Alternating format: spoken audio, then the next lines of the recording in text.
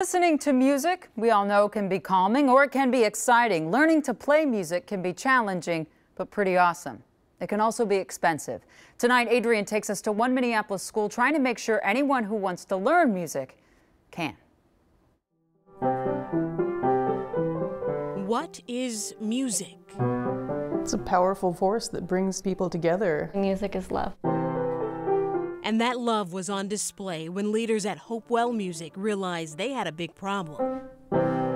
We realized that we had a shortfall about $50,000. We're the only music school in North Minneapolis. We offer music lessons to people of all ages, all abilities. Online, the school's founders issued a plea help us raise $50,000 or Hopewell Music will close. After five days, they hit their goal. It's been overwhelming in the best way. We can hardly keep up with the people contacting us who want to help us, um, help us plan for the future. It's middle finger here.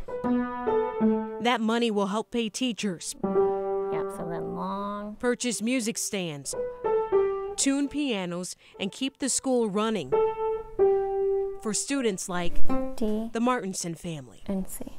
It's fun to do, and if it closed down, no one would know how to play instruments. I like the teachers, they're really amazing. What note were you guys doing? For nearly eight years, And then Hopewell Music has helped students.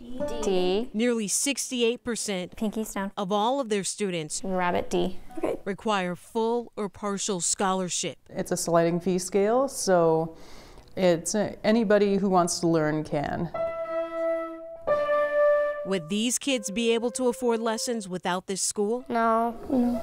Access Is that the same note? to music education, part of the key to success. That's F. Yeah. We really wanted to create a nonprofit that would reach everybody, that if you couldn't afford music lessons, that wouldn't be a barrier to participating. Still wondering what is music? And it's fun to listen to, and it's pretty, it like brings people together. Music builds community, and in this case, a community saved a school.